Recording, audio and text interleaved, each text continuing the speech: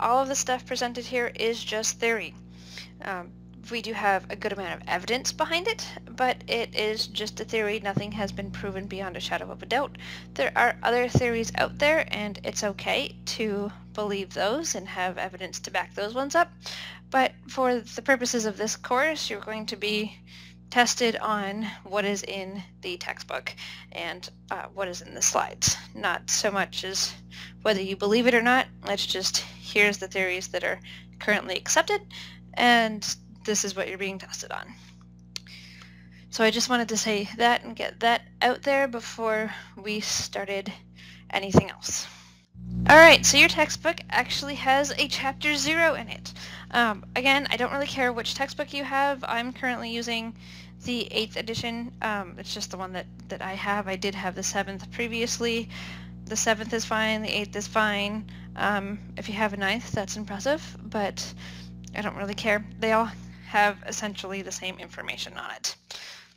If you want to open up your textbook, and if some of you are go-getters, you might have already done that, uh, but in the 8th edition, it's actually page 6. In the 7th edition, it's page 4. That's where the stuff actually begins. And I just want to read you that paragraph. Now keep in mind, I'm not an excellent reader, but here we go. Our place in space. Of all the scientific insights achieved to date, one stands out boldly. Earth is neither central nor special. We inhabit no unique place in the universe. We live on an ordinary rocky planet called Earth, one of eight known planets orbiting an average star called the Sun, a middle-aged star near the edge of a huge collection of stars called the Milky Way galaxy. One galaxy among countless billions of others spread throughout the observable universe. Okay, so if you read that, or if you just listened to it right now, you're probably like, great. This is awesome. It basically says that we are the most ordinary and average things going on in the universe and we are not unique at all. Well, that's uplifting. Um, let me just say I disagree. I am not an expert in astronomy by any means. However, I do know experts in astronomy. I actually have a friend who consults with NASA on black holes, and he, I read that to him, and he was like, nope, that is wrong. Okay, yes, our star, it's not really average, but it is kind of in the middle of the spectrum. Okay, so, okay, fine, whatever, you can kind of confuse that with average. And we are one galaxy in billions of others. And we are on a rocky planet. However, it is not an ordinary rocky planet. We have not found another Earth, or anything like another Earth. Also, we have not found any other life in the universe so far. There's theories, of course, but we haven't actually made contact with anything.